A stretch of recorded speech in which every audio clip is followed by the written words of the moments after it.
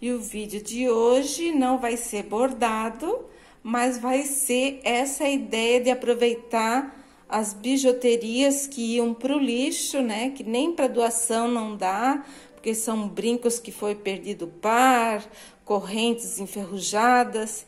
Eu fiz esse porta-retrato e coloquei a foto maravilhosa da minha filha, do meu filho, da minha norinha, que eu amo demais, né? A minha fortuna. Então, eu vou mostrar para vocês como eu fiz. Vamos lá pro vídeo. Gente, não joguem suas bijouques fora. Olha aqui meu estojinho, bijuteria, que eu ia jogar fora, porque não dá nem para doar. Tá tudo enferrujado. E eu tô aproveitando para fazer essa moldura aqui tá? Tô enfeitando duas molduras e vou colocar uma foto também é, em tom envelhecido, vai ficar muito show. Então, eu comecei desmontando o, dois porta-retratos, né, que eu tinha aqui já, que eram branquinhos, e já queria transformar ele há muito tempo em dourado.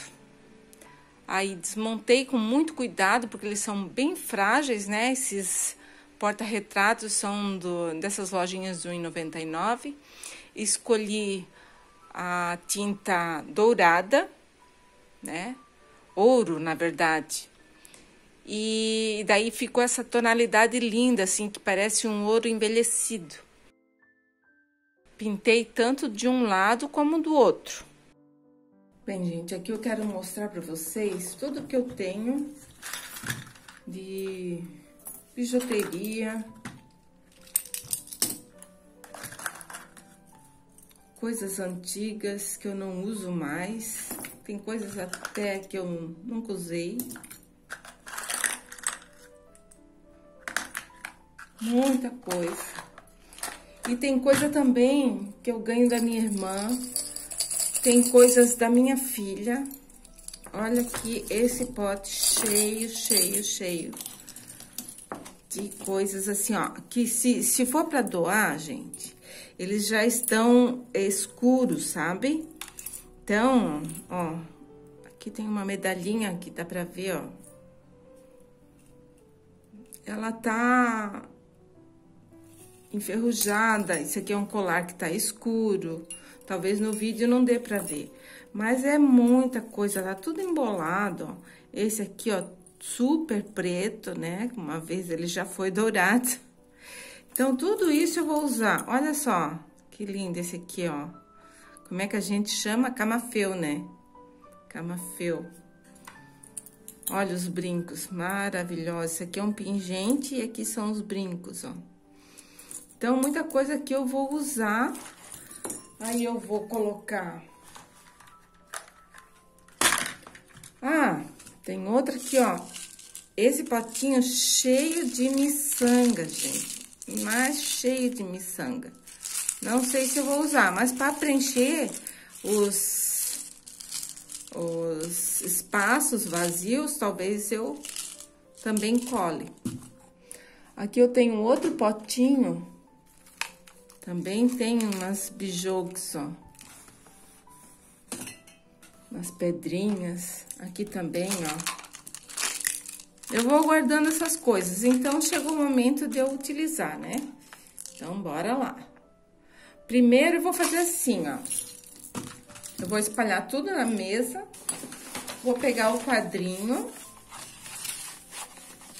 E vou desenhar em cima do quadrinho o formato eu tô colocando aqui em cima do papel pra não sujar o meu paninho da mesa, tá? Aí eu vou, tipo assim, espalhar assim, sabe? Vou deixar em time-lapse, assim, eu é, criando. Com a cola, eu comprei essa aqui. É cola pra adesivo plástico, tá? Pra colar PVC. Eu acho que é mais forte tá? Então, agora vou deixar ligado aqui o celular e vou começar a minha criação.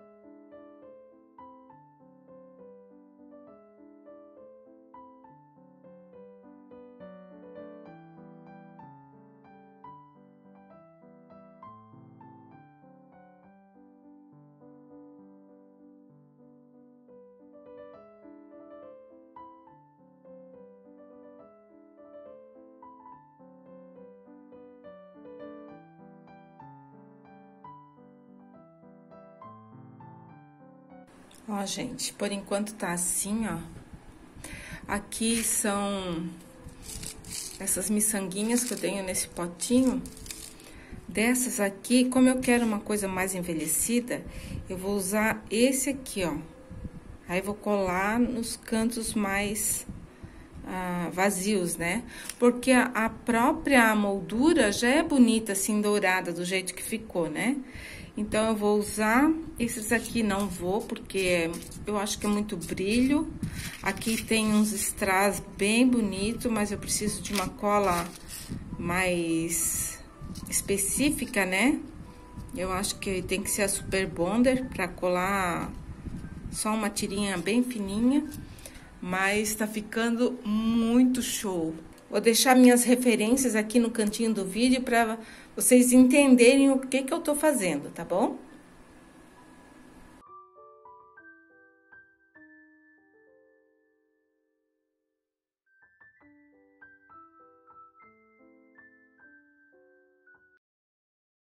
Bem, a luz do, do dia tá sumindo, e eu preciso deixar secar para incrementar. Eu, eu tenho essas miçanguinhas aqui, ó, bem miudinhas. Tem as pretas também, ó, são lindas. Mas eu não sei de que forma colar, não sei se eu passo cola branca, não sei se vou estragar ou deixo assim mesmo.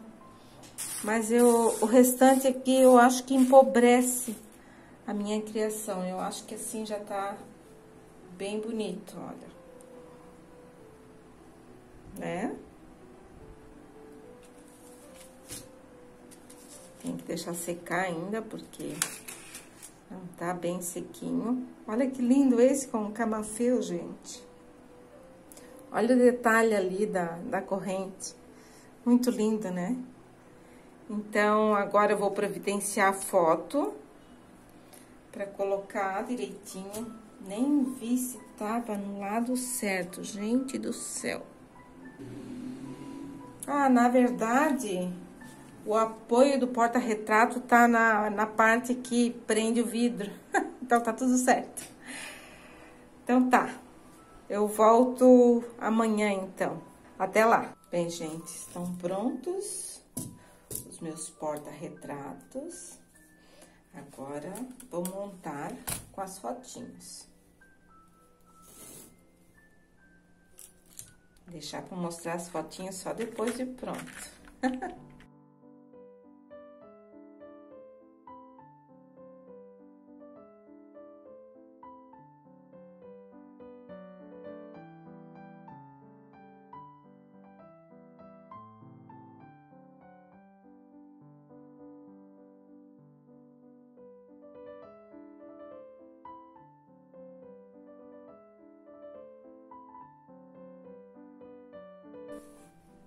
Agora, vou mostrar para vocês lá no aparador.